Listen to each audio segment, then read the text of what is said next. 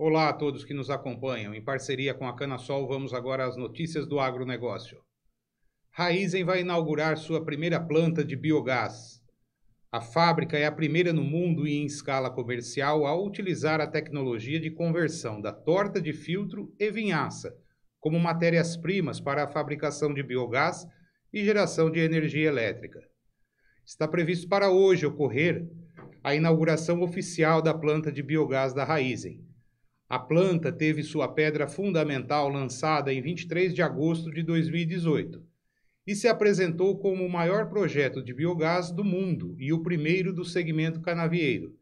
Em abril deste ano, iniciou suas atividades em caráter experimental. A planta foi instalada numa área de 30 hectares, localizada ao lado da indústria, da subestação de energia e das redes de transmissão da unidade, unidade Bonfim, localizada em Guariba, a 50 quilômetros de Araraquara. A fábrica é fruto de uma joint venture formada entre a Raizen, que terá a participação de 85%, e a Geo Energética, detentora dos outros 15%. A Geo é uma empresa brasileira que desenvolveu a tecnologia e desde 2012 mantém uma usina de biogás de menor escala no noroeste do Paraná.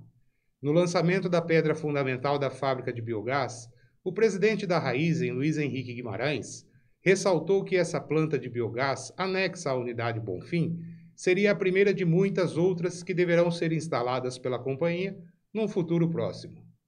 Vamos à próxima notícia. Pecuaristas retêm fêmeas e rebanho bovino do Brasil cresce pela primeira vez em três anos. O rebanho de gado do Brasil, maior exportador de carne bovina do mundo, cresceu pela primeira vez em três anos, em 2019, para 214,7 milhões de cabeças, informou o IBGE nesta quinta-feira. O resultado representa um aumento de 0,4% em relação a 2018 e foi impulsionado pela retenção de fêmeas para a procriação e por um acréscimo de 5,1% no tamanho do rebanho do, do estado do Mato Grosso, de acordo com o IBGE. Em 2018 e em 2017, o rebanho havia diminuído.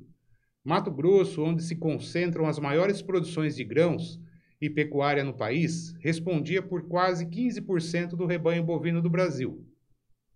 Em 2019, verificamos uma queda na participação das fêmeas no abate, sugerindo uma transição do ciclo de baixa para alta de pecuária, que é quando o produtor passa a reter fêmeas devido aos bons preços de mercado, disse Mariana Oliveira, supervisora da pesquisa do IBGE.